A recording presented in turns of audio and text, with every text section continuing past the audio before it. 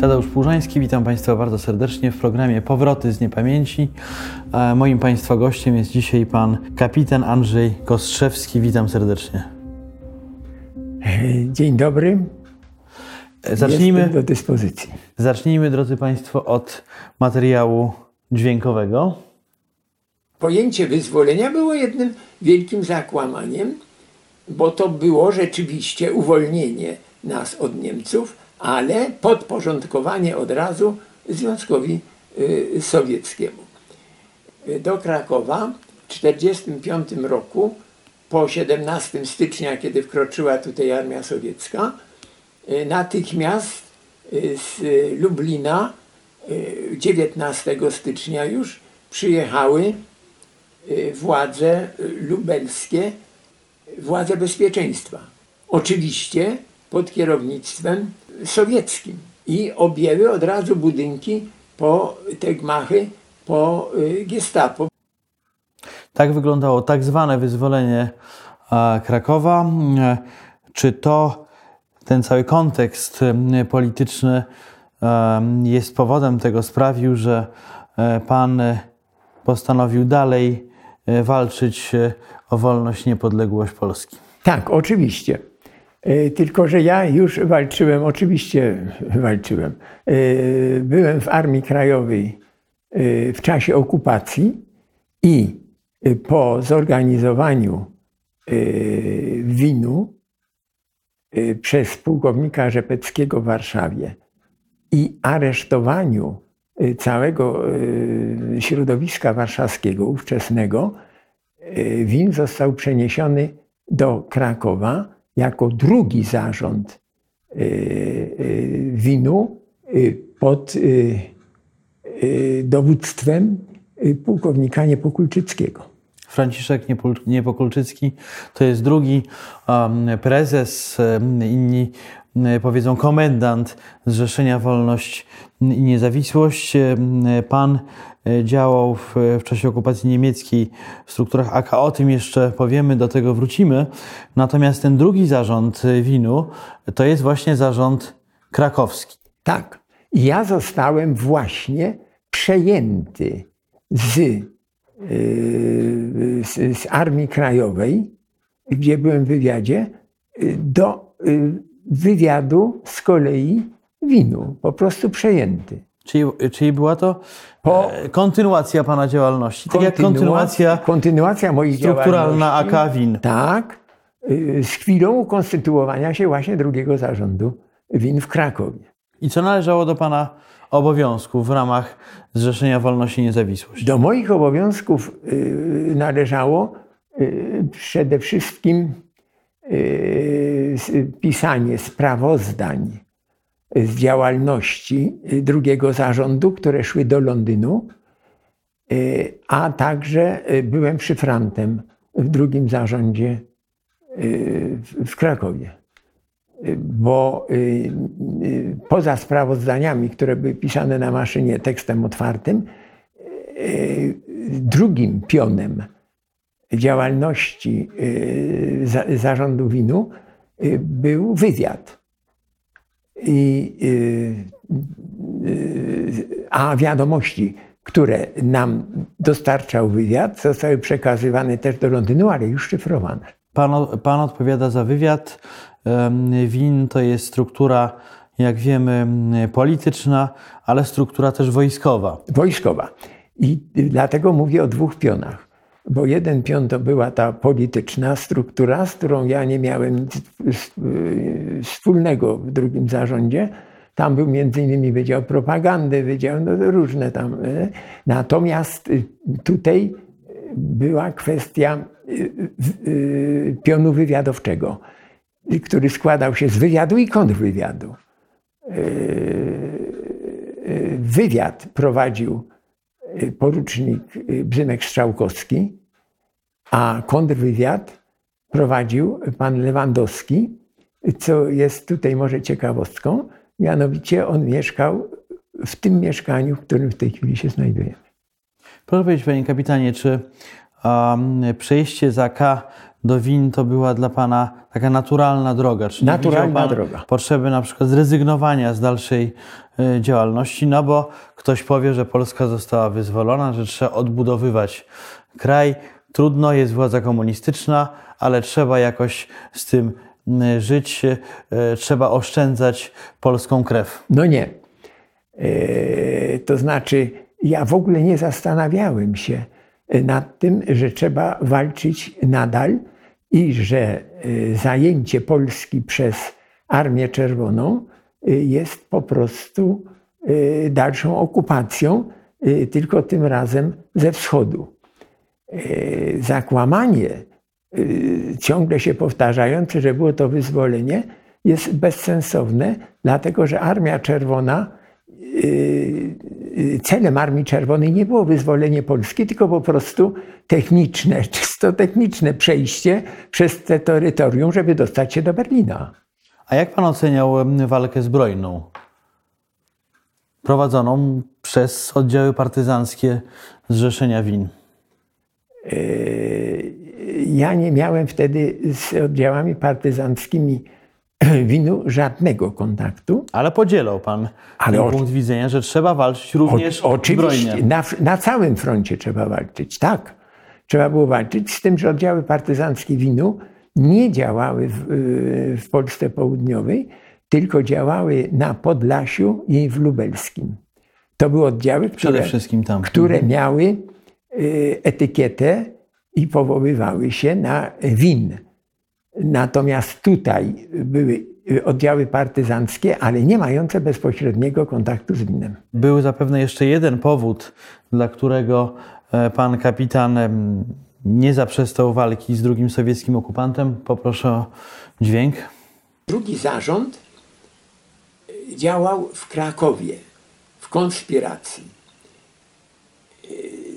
Win był tworzony na e, takiej kanwie przekonania, że może wybuchnąć trzecia wojna światowa. A zatem trzeba było być na to przygotowanym i to podziemie powinno nadal działać, oczywiście w warunkach jeszcze bardziej konspiracyjnych niż w okresie niemieckim, bo tam jeszcze w okresie niemieckim jeszcze była bariera językowa, a tu jej nie było. Prawda? Bo ja nigdy nie wiedziałem, z kim rozmawiam. On też mówił po polsku tak ja. Panie kapitanie, no właśnie, ten e, wątek, który chciałem tutaj wybić, trzecia wojna światowa. E, jak długo pan wierzył, że może dojść do konfliktu między wschodem a zachodem? Y, No to była wiara podtrzymywana po zajęciu Polski przez Armię Czerwoną y, przez jakieś 3 do 4 lat. Potem zrozumieliśmy, że do tej wojny już y, nie dojdzie, y, bo y, no, y, y, przede wszystkim opinia, to wiemy zresztą z historii, opinia Stanów, y, ludności Stanów Zjednoczonych była przeciwna wojnie, ale także y, opinia y, publiczna y, europejska była po prostu zmę, y, było zmęczenie wojną. Czuł pan e, złość, rozgoryczenie? Nie. Y, Czułem y, konieczność dalszej walki na takim froncie, jaki będzie y, możliwy y, do walczenia. O tym froncie zapewne też jeszcze pomówimy. To, to były głównie wydawnictwa. Wobec tego przechodzimy na inny, na y, sprzeciw przeciwko okupacji sowieckiej. Tak jest. Panie kapitanie, powód jeszcze jeden zapewne um, pana dalszej walki z Sowietami to jest, to jest powód rodzinny. Y, To jest powód rodzinny. Y, Mianowicie, ale to już powiem w największym skrócie. Mianowicie w drugim zarządzie winu moja matka też była szyfrantką i łączniczką. Y, Została aresztowana y, i zmarła w więzieniu w Fordonie. Jej brat, y, y, kapitan 9 Dywizjonu Artylerii Konnej w Baranowiczach, zginął y, w, ramach zbrodni katyńskiej. Wywieziony z obozu Starobielsku, rozstrzelany w Charkowie. Więc y, y, moje ustosunkowanie się do sowieckiego okupanta było zrozumiałe. A pan też został aresztowany za działalność w winie. Jakie były zarzuty i jak to się odbywało? A to bardzo y, krótko. 1 y, września 1946 została aresztowana moja matka, a no to w tym mieszkaniu y, od razu urządzono kocioł, tak zwany. Kocioł trwał do 21 września i ja zostałem e, wtedy aresztowany e, równocześnie ze, z rozwiązaniem tego kotła. No bo nikogo tutaj nie złapano. E, na plac, na plac inwalidów przewieziony, bo tam była wtedy kwatera władz bezpieczeństwa, umieszczony w piwnicy i w zasadzie nie było to ten areszt specjalnie uciążliwy w dzień. Natomiast przez y, dwa i pół miesiąca byłem przesłuchiwany codziennie y, nocami. Czyli nie mogłem spać. I stale dostawałem te same pytania, i tylko ponieważ ja z, z czasów okupacji niemieckiej co jest zresztą szerszą sprawą. Przeszedłem przeszkolenie wywiadowcze. Bardzo dobrze wiedziałem, jak się zachowywać, żeby nie, nie mówić tego, czego nie, nie, nie trzeba. Grożono mi zresztą konfrontacją z szefem kontrwywiadu, panem Lewandowskim, że ja jemu miałem po, jakoby pomagać, zresztą on tutaj mieszkał ale rzadko przebywał. E, z tym, że ja wiedziałem, że on nie jest aresztowany, więc mówię, proszę mnie skonfrontować. Po e, trzech miesiącach, bo to był wrzesień, październik, listopad, do, do, do początków grudnia, e, zwolniono mnie bez procesu, bez, nie mogąc się niczego dowiedzieć. Ale to nie jest też koniec Pana kontaktów e, z bezpieką komunistyczną, bo jak wiemy, takim osobom jak Pan e, nie odpuszczano i, i, i ten cień służb chyba się ciągnął bardzo długo za Panem. Do roku 1990. Bagatela. Bez przerwy miałem, tak, wypuszczono mnie, ale mia, od razu dodano mi Y, nazwijmy to anioła stróża, czyli ogon, mówiąc y, brzydko y, ówczesną nomenklaturą. I to był mój kolega, jeszcze z okresu okupacji, ale nie z Armii Krajowej. A jako kolega, no to przecież do kolegi mam zaufanie. A, a, a, a skąd ja mogę wiedzieć, że on jest z, z, z władz bezpieczeństwa nadany do śledzenia mnie, o czym ja oczywiście wiedziałem. No bo, bo w tym kierunku byłem. No bo był pan wyuczony. Wywiadowcą. Wywiadowcą. I y, on chodził za mną do roku 1990. Potem przestał chodzić i, i niebawem zmarł, więc nie podaję jego nazwiska. E, panie kapitanie, e, Wracamy do Pana działalności y, okupacyjnej podczas okupacji niemieckiej, która to y, spowodowała y, późniejszą Pana działalność podczas okupacji sowieckiej. Jak to się stało, że znalazł się Pan w strukturach wywiadu, wywiadu Armii Krajowej? W 1943 roku składałem przysięgę jako żołnierz Armii Krajowej. Ja chciałbym tutaj y, przywołać ciekawą rzecz, o której nigdzie się nie mówi. Mianowicie y, przysięga żołnierza Armii Krajowej kończyła się słowami: Zdrada karana będzie śmiercią, nagrodą będzie wolna Rzeczpospolita, Polska. Y, ta nagroda mnie spotkała, że doczekałem dzisiejszych czasów. Do wywiadu dostałem się w ten sposób, e, że znałem język niemiecki nie podręcznikowy, e, tylko z domu, ponieważ moja rodzina była e, austriacka. Mój pradziadek nie znał języka polskiego. Język niemiecki był w domu używany stale przez mojego dziadka, czy babcię, czy, czy potem zresztą mamę także. Wszyscy mówili po niemiecku, chodząc do szkół polskich oczywiście. To, jest, to, to są dwie różne rzeczy. E, I język niemiecki był dla mnie, e, a właśnie potrzebny był ktoś, kto ten język niemiecki zna tak, jak, e, jak normalny, jako normalny, nie, nie, nie, nie podręcznikowy. I chodzi prawdopodobnie o to, jakie zadanie dostałem. Oczywiście. Otóż polegało to na tym, po to ten język niemiecki był potrzebny. Otóż myśmy mieli y, swojego, nazwijmy to, agenta Armii Krajowej w Gestapo krakowskim, który stamtąd wydobywał y, akta y, potrzebne dla wywiadu. Ja je dostawałem i miałem je przetłumaczyć tylko na język polski. To była dosyć trudna praca, dlatego że tutaj znowu y, troszkę inny jest język y, akt policyjnych niż, niż język y, używany w domu. Także się, męcząca to była praca, ale polegała na tym, że tylko jedna łączniczka przynosiła mi taki wykradziony z gestapo dokument, Zresztą Wanda Michalewska y, zmarła po wojnie na gruźlicę y, i tylko ona go odbierała. Nikt poza tym nie miał do mnie dostępu, jeśli chodzi o sprawy wywiadowcze.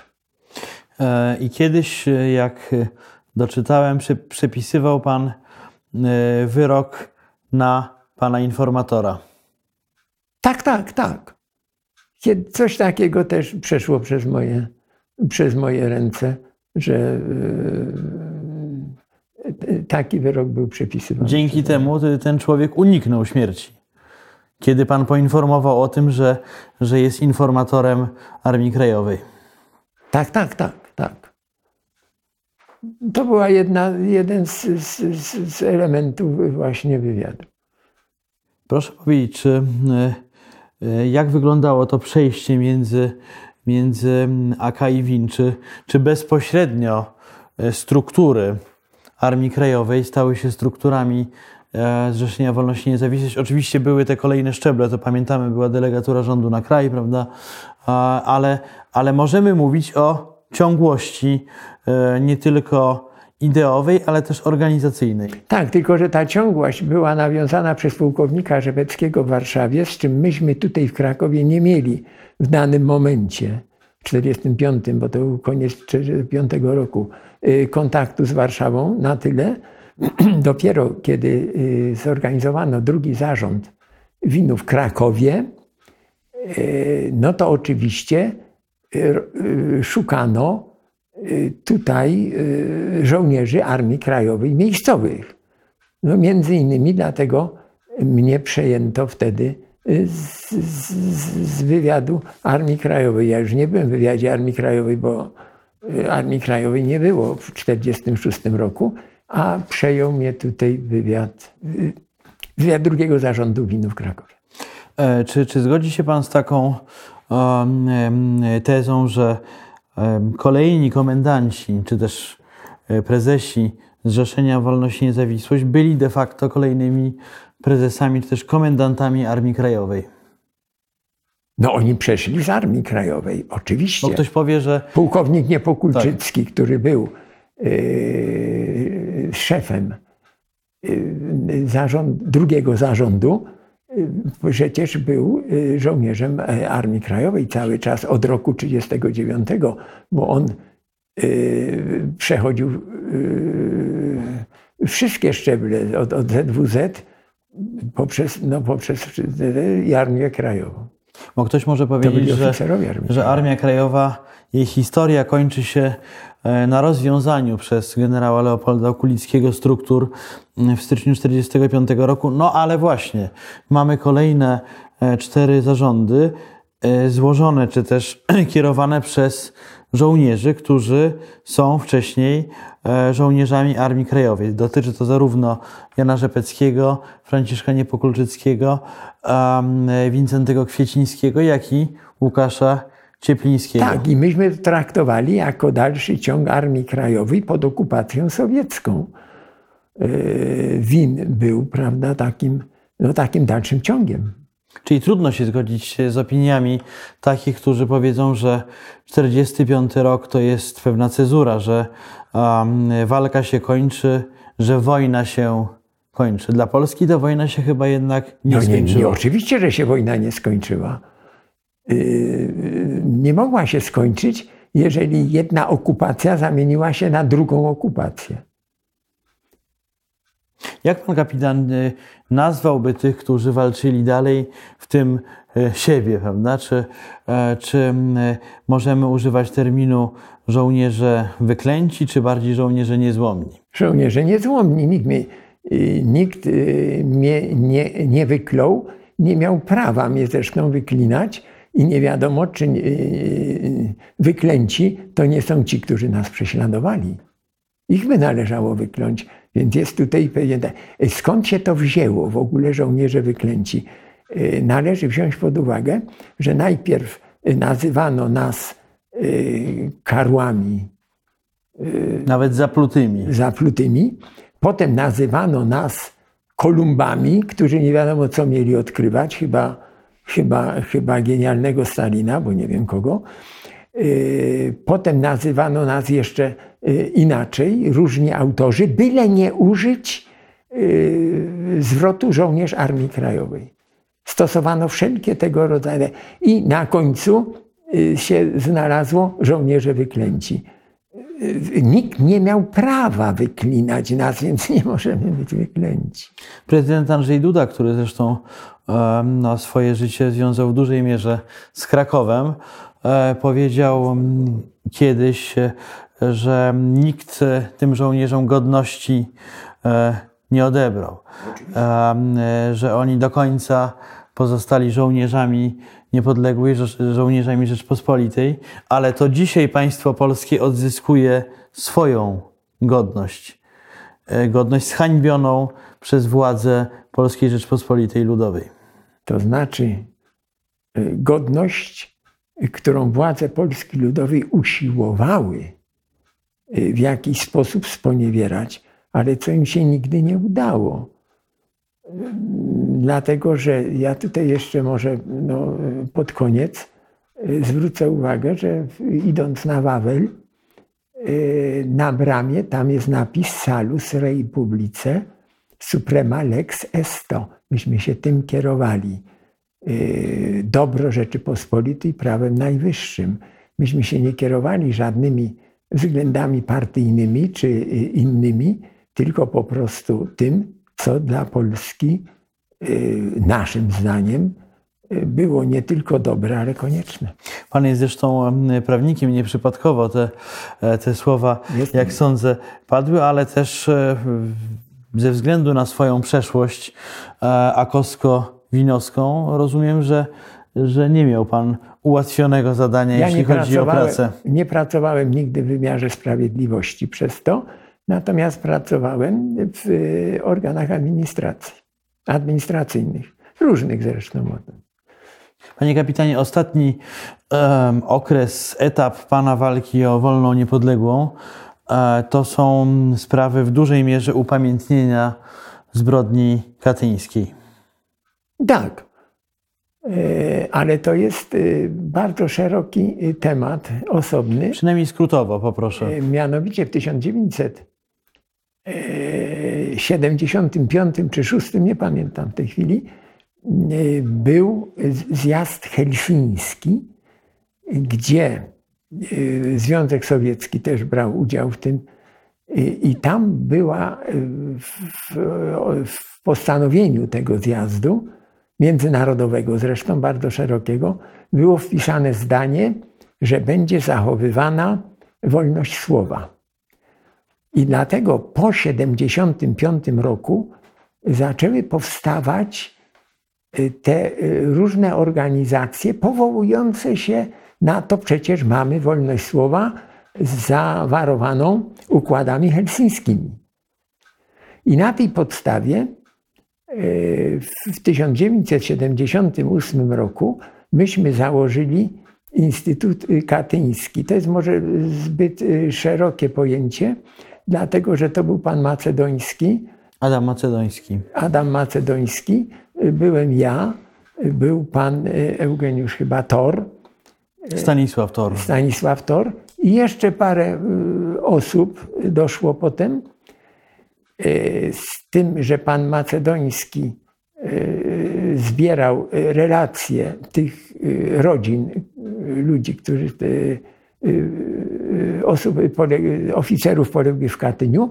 Natomiast ja zająłem się drukowaniem biuletynu, wychodząc z założenia, że jeżeli jakieś stowarzyszenie, organizacja nie ma swojego słowa drukowanego, no to właściwie nikt o niej nie wie i nie istnieje.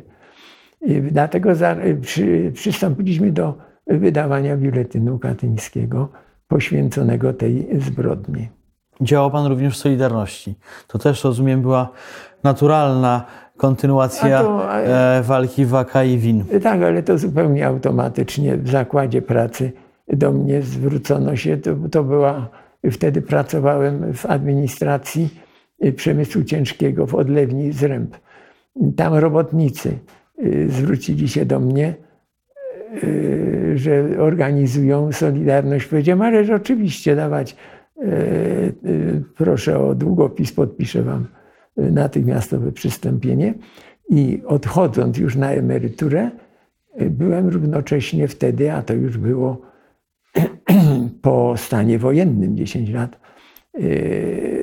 zresztą odszedłem na emeryturę jako przewodniczący Komisji Zakładowej Solidarności. Panie kapitanie, jak pan odniesie się do faktu, że komuniści nie tylko mordowali naszych żołnierzy niezłomnych strzałem w tył głowy, ale jeszcze wyrzucali ich szczątki na śmietnik? No, dla komunistów to było zupełnie zrozumiałe. Przecież to jest, przecież to jest, organiz... przecież to jest organizacja z definicji zbrodnicza. Więc jeżeli oni robili takie rzeczy, no, no to dlaczego nie mieli robić? Jak zbrodniarz. A jak pan e, oceni dzisiejszą Polskę? Na ile dzisiejsza Rzeczpospolita, ta tak zwana trzecia Rzeczpospolita, przypomina Rzeczpospolitą drugą, o którą wy walczyliście? Nie ma żadnego porównania. E, nie ma żadnego porównania. Natomiast tutaj mogę tylko zrobić jedną uwagę. Mianowicie Józef Piłsudski powiedział kiedyś, że w okresach kryzysu strzeżcie się agentur. E, agentury, obcych agentur. Uważam, że obecne partie e, sprzeciwiające się obecnemu rządowi, czy powiedzmy PiSowi, to jest agentura. Najzwyklejsza w świecie i, i należałoby ją tak nazwać, ale tak też traktować. To nie są Polacy. A co musiałoby się stać, żeby ta Rzeczpospolita obecna jednak e, przypominała bardziej Rzeczpospolitą drugą? To jest dosyć skomplikowana sprawa, dlatego że Polska w tej chwili przecież, będąc w Unii Europejskiej, podlega także wpływom tejże Unii, między innymi ideologii, która panuje w Unii Europejskiej, no, a jest e, wroga i naszym tradycjom, i w ogóle państwowości jako takiej, jeżeli żąda się zniesienia organizacji państwowych, takich jak IPN czy, czy CBA chociażby. CBA, Y, a także usunięcia wojewodów i zastąpienia ich po prostu rządami sejmików wojewódzkich. Przecież to jest działanie nie antypolskie, to jest działanie antypaństwowe, to jest coś więcej niż antypolskie. E, antypaństwowe, e, zresztą przepięknie ujęte przez znanego nam skądinąd pana, który powiedział: Rób tak, co chce to. Czyli możemy, panie kapitanie, powiedzieć, że tak jak w 1939 roku mamy wciąż wroga i wewnętrznego, i zewnętrznego. Tak, i tak. I nie możemy mieć równocześnie zaufania, ja nie mówię, że nieprzyjaźń, zaufania do Niemców, jak i do Federacji Rosyjskiej. Tego zaufania nie będziemy mieli tam nigdy do nich. A czy z perspektywy Pana życia, Pana doświadczeń, Pana walki, nasza suwerenność, nasza niepodległość może być dzisiaj zagrożona? Raczej nie, ze względu na równowagę sił. Tutaj jest, bo tutaj wchodzi zarówno, mamy tutaj dwie, że tak powiem, dwa rodzaje broni. Jedna to jest broń atomowa, której nie można użyć, dlatego że ona będzie miała dwustronne znaczenie. I, druga, mianowicie cyfryzacja, która, którą, posługuje się, którą posługują się w tej chwili wszystkie wywiady. Tadeusz Płużański, bardzo dziękuję za rozmowę. Moim Państwa gościem był dzisiaj kapitan Andrzej Kostrzewski.